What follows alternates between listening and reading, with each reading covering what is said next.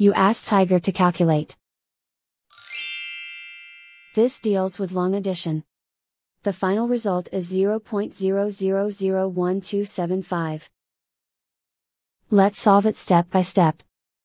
Rewrite the numbers from top to bottom, aligned by their place values, put zeros in the blank number places. Add up the digits in each column, from right to left. 5 plus 0 equals 5.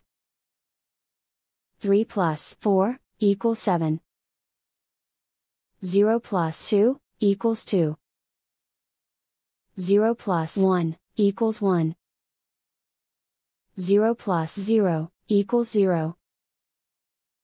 0 plus 0 equals 0. 0 plus 0 equals 0. 0 plus 0 equals 0.